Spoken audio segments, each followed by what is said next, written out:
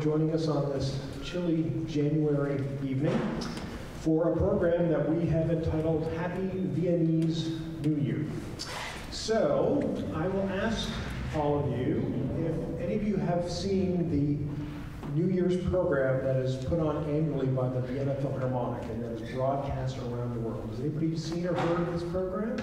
See a few hands out there, okay. So hopefully this program will sound familiar to you. And for those of you who have not seen or heard this program, you're in for a real treat because um, it's really a, a wonderful tradition um, uh, in the Vienna Philharmonic to present a concert of light classical music on New Year's Day every year. Um, the tradition of a New Year's program goes back into the 19th century, but the, the modern version of this Vienna harmonic program actually began in 1939. And what makes this um, program uh, distinctive and unique is that it's not only light classical music, but these are programs that heavily feature music from uh, the Strauss family dynasty.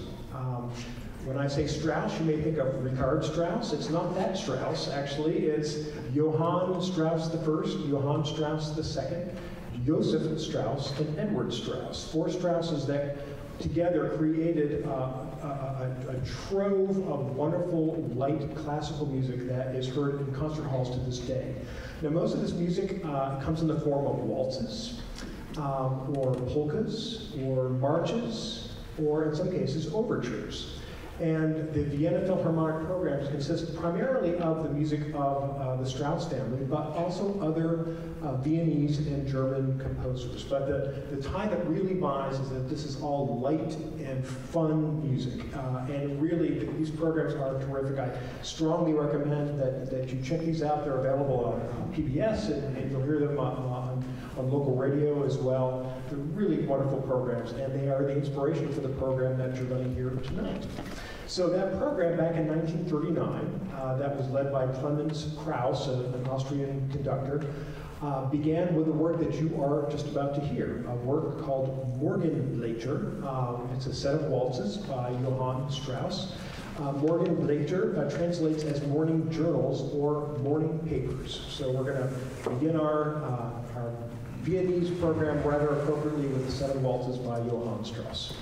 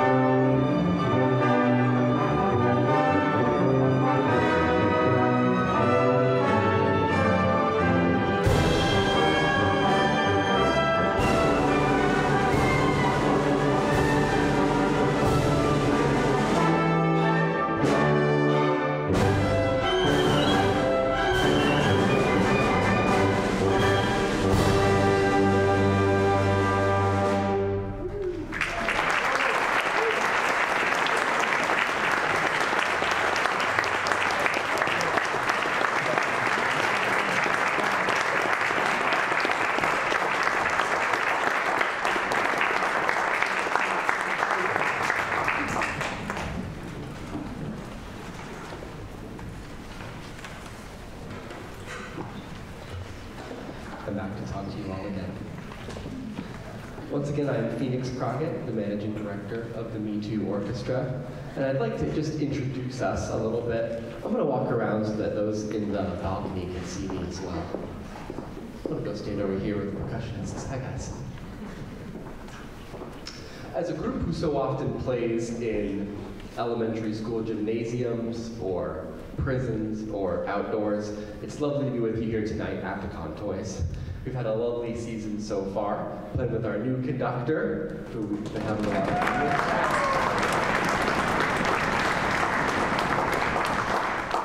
Mike has been absolutely wonderful for this group. I've loved to see us grow and expand in the post-COVID time. I started with this group uh, seven years ago, I think it is now. I sat right over there as a cellist. Uh, and I found this group at a time when I really needed it. I was looking for a community. I had just been diagnosed with bipolar disorder, and I didn't know who to talk to about it, and I didn't know how to go forth in my life and um, live on in a healthy way. And that's actually the point of this group, is for those with mental health disorders and those that support them to come together and, and make art. And uh, as you can hear just now, what ends up being made there is, is really special. The idea of our name, Me Too, which actually predates the ever important Me Too movement, is that a musician might come into the room and say, you know, I, I actually live with this problem that uh, affects me day to day, and they might get that response. Me too, me as well, you know. Um, I'll try to keep my remarks short tonight. I promised that I would, but there is a donation box out there on the table, and there's also a QR code you can scan in your program. We are a small nonprofit. We survive mostly on donations, so if you have it to give, uh, we ask that you do so that we can keep making this awesome music and creating the stigma-free space for musicians and for audience members to enjoy. Thank you.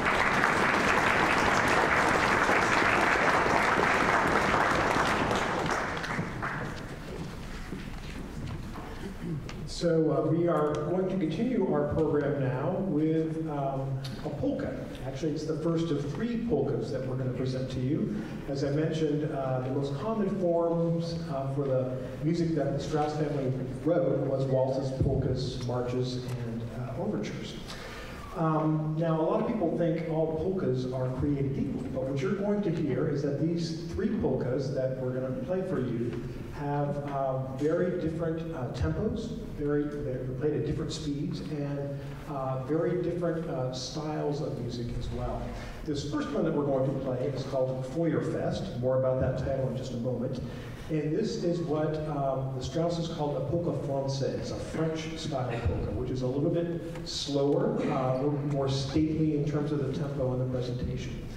Now, the, the title Feuerfest uh, is the, the, German term which translates into fireproof. And you might think, well, that seems like kind of an odd title for a polka. Well, the reason for that is that this work was commissioned by a company, uh, an Austrian company, uh, very uh, successful in the 19th century at building fireproof safes. Uh, this is what they specialized in, and in fact, in honor of the 20,000th safe that they produced, the owner of the company went to the Strauss family and said, would you write a, a, a piece of music in honor of this, this landmark? So uh, the work that you're going to hear, um, I encourage you to give some special attention to the percussion section because you're going to hear some really metallic sounds coming out of that section. In particular, Deb Gay is going to be beating on some metal back there, which is meant to suggest the sound of anvils, which of course were so critical in the production of these fireproof safes. We hope that you enjoy Feuerfest.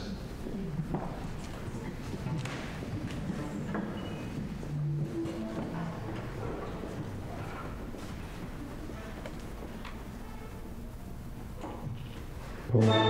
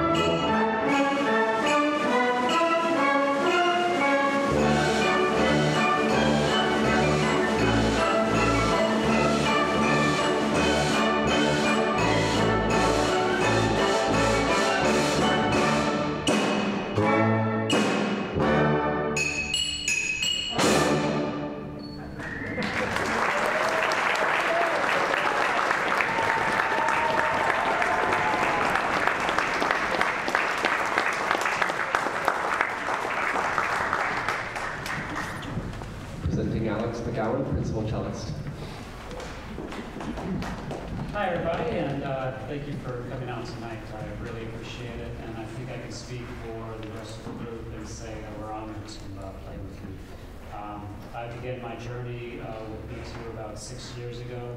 I was living in a sober house and really right on the edge of um, uh, life. Um, I was in a therapist's office. I saw the Me Too flyer, and uh, and and then I started joining and it's been a joy ever since. Um, since that time, um, I have had my fair share of ups and downs.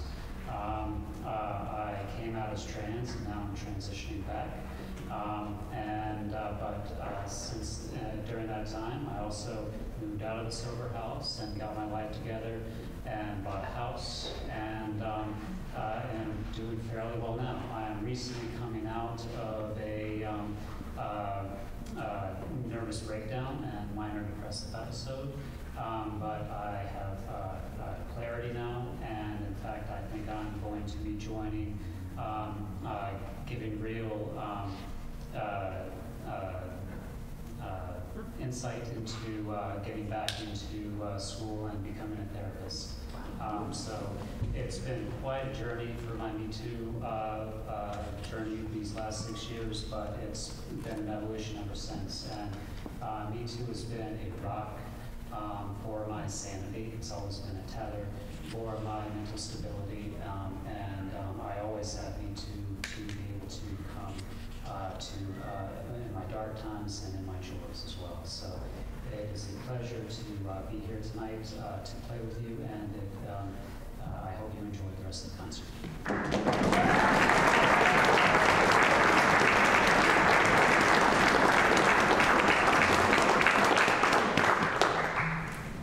Thank you so much, Alice, for those words. So meaningful. Um, so we're going to continue now with another polka. Uh, this one is a polka schnell, a fast polka, and it's entitled Tritsch Tratsch. Now that name uh, translates to chit chat, and it was written, it was inspired by, I guess you could say, uh, the fact that Johann Strauss II knew that one of the um, uh, qualities of Viennese society was the penchant for gossip. Um, so this, this was something that was very much evident to anyone who was involved with Viennese society of the time. And it's really easy to imagine when you hear this music, which is so full of humor, uh, all the, the, the whispers behind, uh, behind you know, gloves, gloved hands and, and, and uh, fans uh, as the Viennese uh, Society did indeed chit chat, probably during the concert when they should have been listening to the music. we hope that you enjoy Tritsch Tratsch.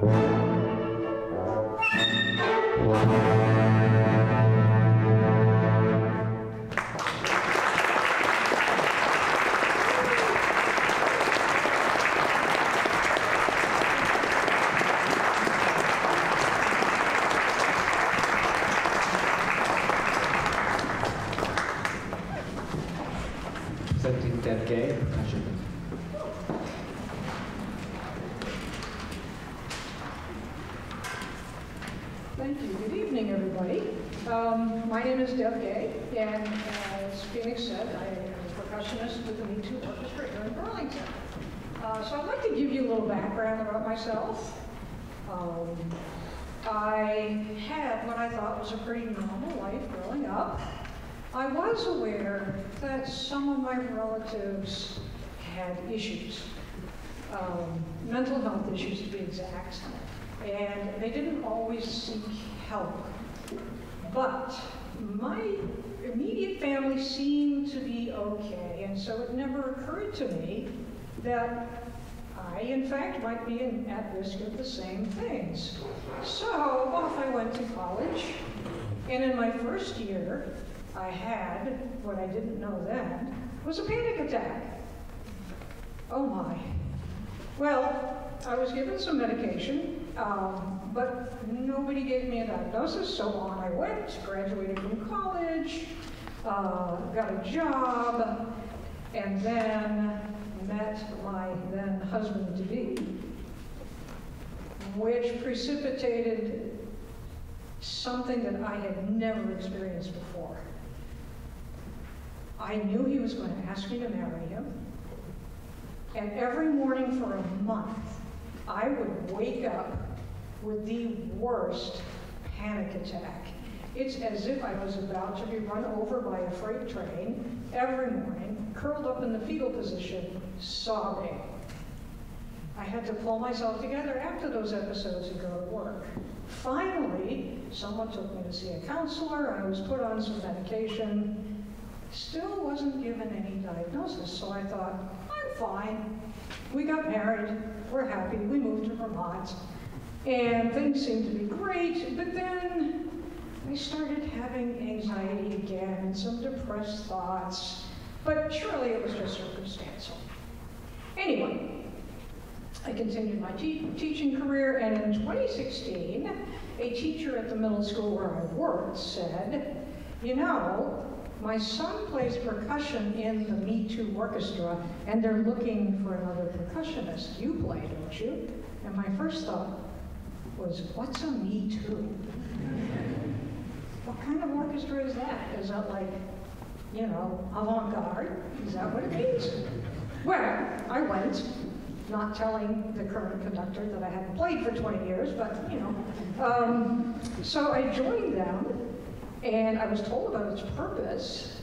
You know, it's a, it's a, it's a great group to support people with mental health challenges and those that support them. So here I am, blissfully ignorant again, thinking, that's great, I can support people. Not thinking that I had anything to say me too about.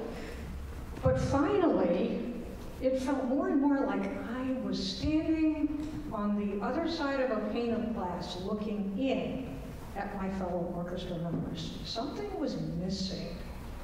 You may think by this time, ah, Dad, how clueless can you get? But finally, I happened to look through my medical records and there it was. Aha. Under my list of conditions, anxiety and depression. Oh, me too. So, Me Too has set me free from being in denial, but also from hiding the things that I struggle with. Me Too has been supportive. They have accepted me for who I am. And I can't say enough about everyone here. And a special thanks to Alex McGowan, who has always reached out to me and talked with me, and with whom I've been able to share so many things. Thank you.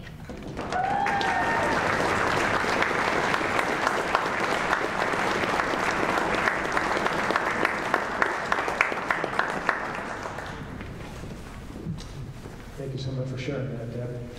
We uh, continue now with the third of our three polkas, uh, and this is one that is um, a little different than the, the previous two in that the, the title has nothing to do with how it was commissioned or what it's meant to represent, but actually has to do with the technique that the string players are going to use to make notes, to make sounds in this music.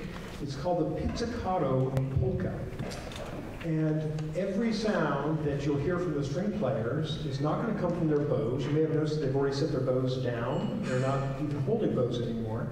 But all the sounds are going to come from them plucking the strings on their instrument, a technique that is known by the Italian term pizzicato.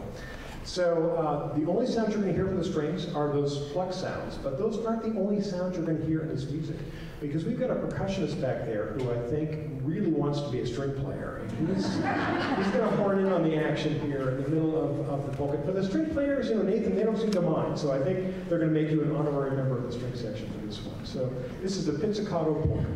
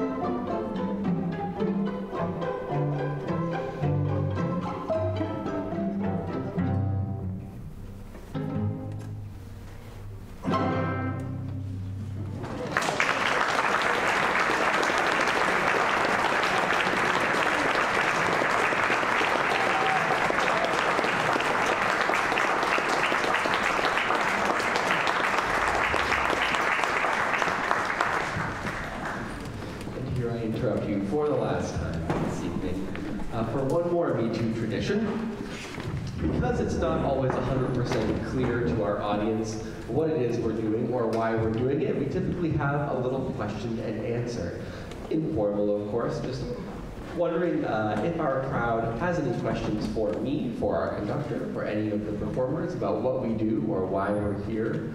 Um, and so I open that up to you all. You can also ask questions from the balcony, but you'll have to shout.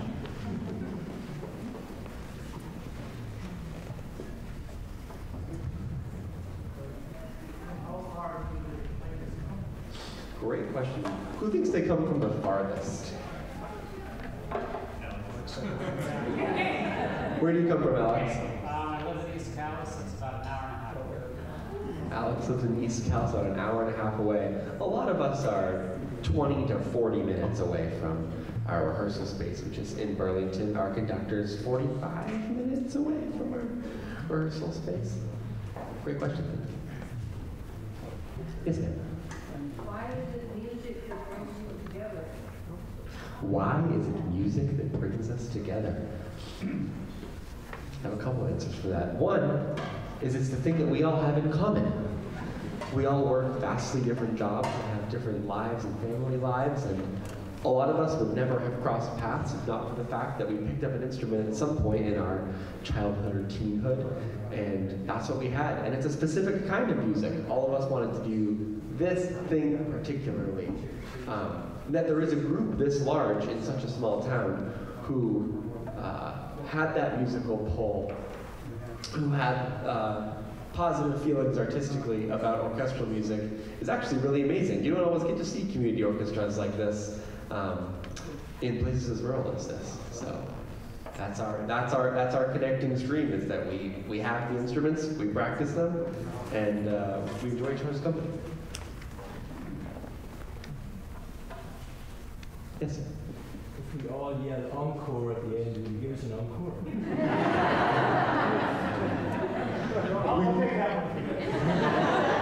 We do not have a planned encore. We don't play adult peekaboo, but we hope you do enjoy the songs we have left. Fun. Yes. Anyone else?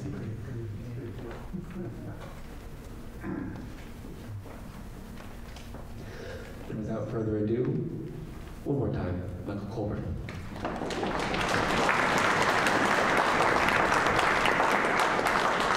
So actually, you may not realize this, but you gave me the perfect segue to describe the last two selections on this program. So uh, we are about to play the beautiful blue, on the beautiful blue Danube is the full title, although people generally know it as the Blue Danube, followed by the Radetzky March. And these two pieces are always encores on the Vienna Philharmonic Music Program. Um, always within, there there are usually three standard encores, and these are usually two of those three. In fact, this piece is so beloved and so expected by the Viennese audiences that every time they play this, it starts very, very quiet, it's interrupted by applause, because the audience is so excited, and, and they act like they're surprised, right? They know it happens every single year, but every year, they get so excited they start applauding, so the conductor usually has to stop, turn around, acknowledge the applause, and, and there's a, a standard uh, Austrian greeting that, that the conductor offers the audience when that happens. So as much as we want this concert to resemble one of those Vienna Philharmonic concerts, please don't feel the need to start clapping right? Uh, but this is uh, undoubtedly Johann Strauss's most famous waltz on the beautiful Blue Danube. And I'll offer a few more thoughts about Radetzky when we get there. But first, Blue Danube.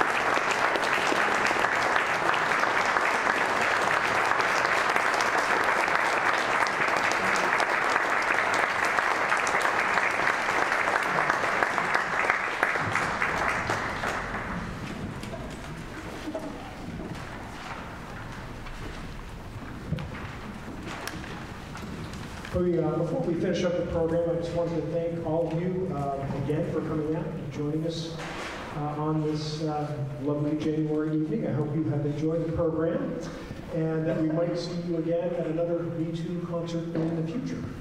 Uh, We're going to wrap things up here with um, another one of the traditional encores for Vienna Philharmonic Year's program. This is the Radetzky March by Johann Strauss I. And uh, this is a march that uh, actually has a little bit of audience participation. So there is a lot of clapping that happens during this march. And the Viennese, they know, because they do this thing every year, they kind of know when to clap and when not to clap. So I'm going to help you guys, as I know for many of you this is the first time. But it's not just that you're going to clap, okay? There are a, a couple of other little bits of guidance I need to offer you as well. So it starts with a very light, genteel clapping, right? You know, these refined Austrians in their boiled wool suits, you know, very, very, very classy, just a very light clap. But then things get a little more vigorous. So when you see me turn around and really give you this, that's when I want to hear a little bit uh, stronger clapping, all right? And the third cue, and this perhaps is the most important cue, is when you're not supposed to clap, okay? And you're going to see me doing this. So when I turn around and give you the finger, that's when we stop clapping. But you're going to come back in again when, when it's time. You'll figure this out. It's, it's pretty easy to figure out, but I will help you along. We hope that you enjoy the Radetzky March.